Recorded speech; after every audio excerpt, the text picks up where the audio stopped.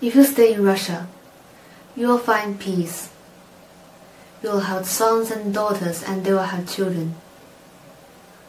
When you are gone, they will remember you. But when your children are dead, and their children after them, your name will be lost. If you go to France, glory will be yours. They will write stories about your victories for thousands of years. And the world will remember your name. But if you go to France, you'll never come home. For your glory walks hand in hand with your doom.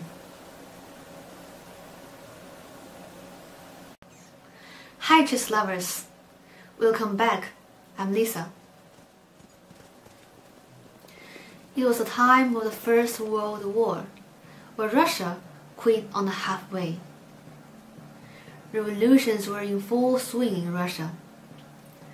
The Bolsheviks were overthrowing the provisional government and aiming at establishing their own regime. Alexander Alekhine, an aristocrat of Moscow, could no longer bear the chaos. He had made his decision. He seized the chance and fled to France, so that he would not be bothered by endless wars and could concentrate himself on chess. And he never returned to Russia. For Alekhine, chess was an irresistible desire, and the dream of the world champion was never so vivid before. The dream he would fight for no matter what happened.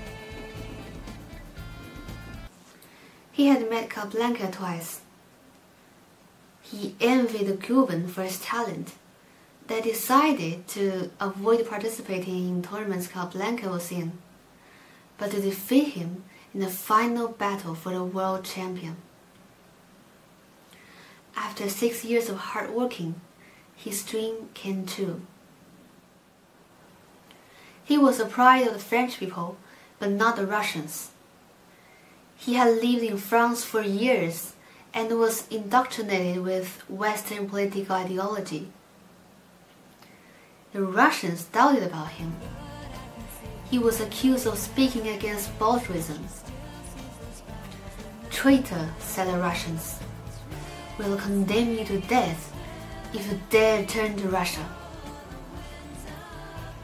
To become the world champion, Alekhine had turned into the enemy of all his countrymen. If you like the story, share it to your friends and follow MustaChess WeChat channel. See you next time.